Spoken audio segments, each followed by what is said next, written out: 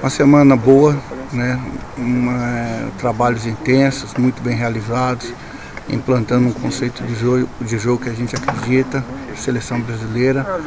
É, a resposta foi muito positiva, todos se empenharam ao, ao, máximo né? para poder é, mostrar a cada um seu valor, muita qualidade, um elenco de qualidade.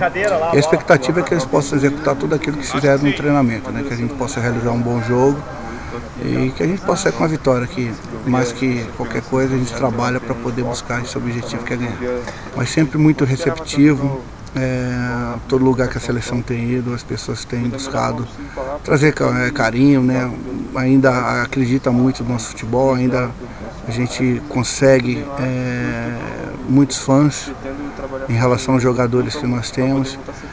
E a gente tenta resgatar isso não só externamente, mas internamente. Né? A gente quer buscar isso.